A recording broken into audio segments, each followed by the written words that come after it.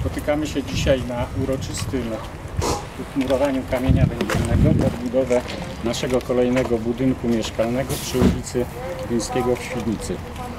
Z tej okazji pragnę serdecznie powitać naszych znamienitych gości. Okres wykonania realizacji to jest e, półtora roku, czyli od lutego sierpień 2018.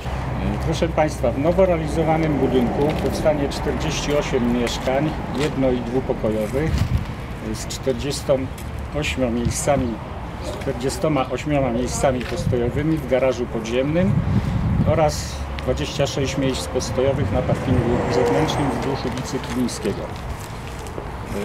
Wartość inwestycji to kwota 10 milionów 460 tysięcy, z czego 4 miliony 382 tysiące to finansowanie zwrotne w postaci kredytu preferencyjnego z Banku Gospodarstwa Krajowego w Warszawie.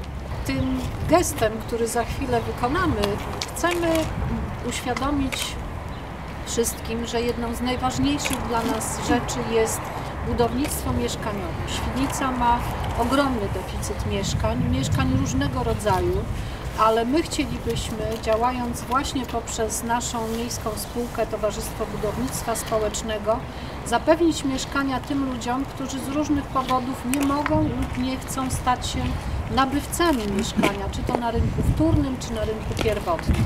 Takich osób jest bardzo dużo. Są to przede wszystkim osoby młode, które już dziś osiągają dość dobre dochody, jednak nie chcą wchodzić w ryzyko wieloletniego kredytu, wolą mieszkanie wynajmować. Dzisiejsze wmurowanie kamienia węgielnego to początek programu, jaki sobie z panem prezesem nakreśliliśmy na najbliższe dwa lata. Kolejną inwestycją, którą e, TBS będzie prowadzić, to budowa budynku mieszkalno-usługowego przy ulicy Słobuckiego, na miejscu dzisiejszego wciąż jeszcze stojącego budynku e, domosu, bo stwierdziliśmy, że skoro staliśmy się właścicielami tej działki, to dobrze ją również wykorzystać na cele mieszkaniowe.